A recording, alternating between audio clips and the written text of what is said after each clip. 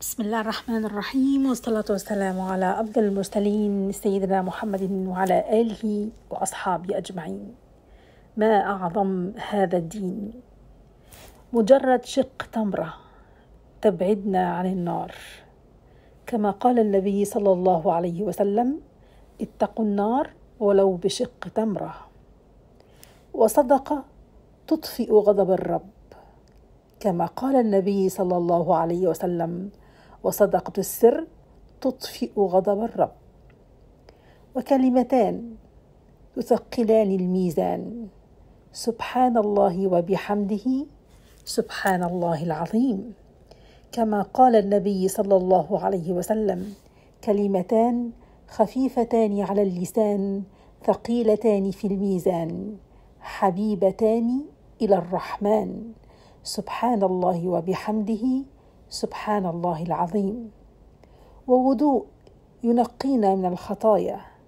كما قال النبي صلى الله عليه وسلم من توضأ فأحسن الوضوء خرجت خطاياه من جسده حتى تخرج من تحت أظافره. ولا حول ولا قوة إلا بالله. كنز من كنوز الجنة. علمها النبي صلى الله عليه وسلم لأبي موسى الأشعري. وقال ألا أدلك على كنز من كنوز الجنة؟ لا حول ولا قوة إلا بالله. وحسنه تتضاعف لعشر أضعاف. كما قال الله سبحانه وتعالى في كتابه الكريم في سورة الأنعام من جاء بالحسنة فله عشر أمثالها. وركعتي الفجر خير من الدنيا وما فيها. فلماذا بعد كل هذا اليسر نظن أن الجنة بعيدة المنال.